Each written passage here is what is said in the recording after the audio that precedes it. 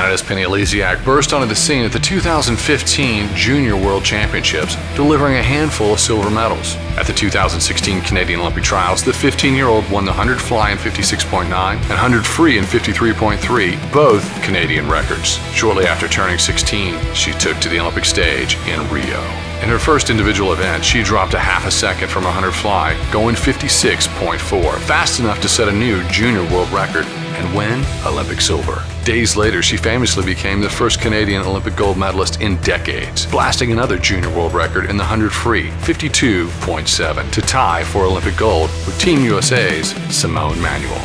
And Oleksiak is just a kid, just getting started. She signaled that she intends to be a force on the international scene at the 2016 Short Course World Championships in Windsor, where she broke the Canadian record in the 100 free three times, netting her the bronze medal in the final. Penny Oleksiak, your female breakout swimmer of the year.